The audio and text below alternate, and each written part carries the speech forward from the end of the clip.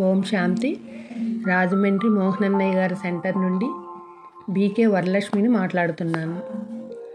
పరమాత్మ నాకు మొదటి పాఠంగా ఆత్మస్వరూపం ఆత్మశక్తి మరియు శరీరంలో ఆత్మ ఎక్కడ ఉంటుందో తెలియజేశారు.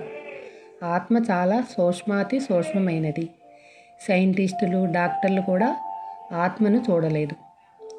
సాధనాల ద్వారా కూడా చూపించలేకపోయారు. అణువు పేరు వింటాము. దాని శక్తిని గురించి మాట్లాడతాము. కానీ ఎవ్వరూ చూడలేదు. అలాగే చూడలేని ఆత్మశక్తిని గురించి ఇప్పుడు తెలుసుకుందాము. దీనికి ముందు మీకు శరీరం వేరు ఆత్మ వేరని అర్థమై ఉంటుంది. శరీర శక్తి గురించి తర్వాత తెలుసుకుందాము. ఆత్మకు మూడు శక్తులు ఉన్నవి. మనస్సు బుద్ధి సంస్కారం. ఆత్మలాగే ఇవి కూడా కంటికి కనిపించవు. కానీ చేసే పనులు మాత్రం మనకి తెలుస్తాయి. మనస్సు ఆలోచన చేస్తుంది బుద్ధి నిర్ణయిస్తుంది. మరియు మనం చేసే ఆలోచనకు రూపాన్ని కూడా చూపిస్తుంది. మనస్సు చేసే ఆలోచన బుద్ధి నిర్ణయంతో చేసే పని సంస్కారంగా మారుతుంది. మనస్సు చేసే ఆలోచన వేరుగా బుద్ధి చేసే నిర్ణయం వేరుగా ఉంటే సంస్కారం బలహీనంగా ఉంటుంది. మనస్సు బుద్ధి కలిసి చేసిన పని అంటే సంస్కారం శక్తిశాలిగా ఉండి మనం చేసిన పనికి ఫలితం బాగుంటుంది. ఇప్పుడు శరీరం గురించి తెలుసుకుందాం. శరీరము పంచతత్వాలతో పంచభూతాలతో తయారైనది. భూమి అగ్ని జలం వాయువు ఆకాశం.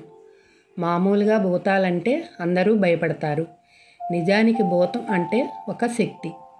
సద్వినియోగం చేస్తే సుఖాన్ని ఇస్తుంది. దుర్వినియోగం చేస్తే దుఃఖాన్ని ఇస్తుంది. తత్వాలంటే వాటి విశేషత లేక గుణం. మనం ముందు చెప్పుకున్నాము శరీరం వేరు ఆత్మ వేరు.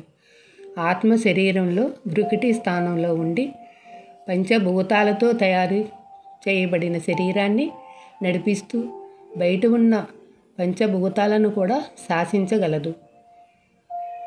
మీకు ఒక ప్రశ్న రావచ్చు. శరీరాన్ని నడిపినంత మాత్రాన బయట ఉన్న పంచభూతాలను నడిపించగలమా అని. అవును అని పరమాత్మ చెప్పుచున్నారు.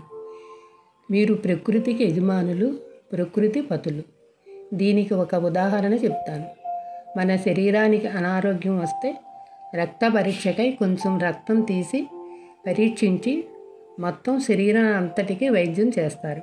అలాగే శరీరాన్ని నడిపే ఆత్మే ప్రకృతిని కూడా నడిపిస్తుంది.